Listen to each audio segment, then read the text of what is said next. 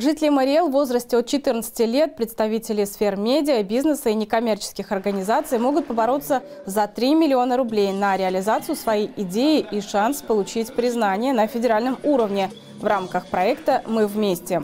Одно из главных условий – проект, выдвигаемый на премию, должен иметь результат деятельности на момент подачи заявки. Здоровье, образование, развитие региона, помощь населению, туризм. Творческие инициативы принимаются в 11 номинациях до 15 мая.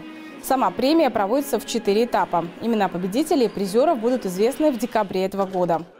Они могут получить грант до 3 миллионов рублей. Это продвижение в СМИ, это получение наставника э, представителей национальных проектов, образования, например, как социальная активность. Э, это бесплатное путешествие по России в рамках проекта «Россия – страна возможностей».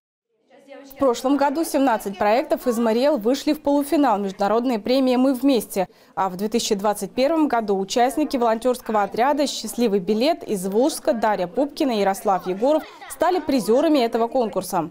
Проекты школьников были посвящены социальной адаптации детей-инвалидов.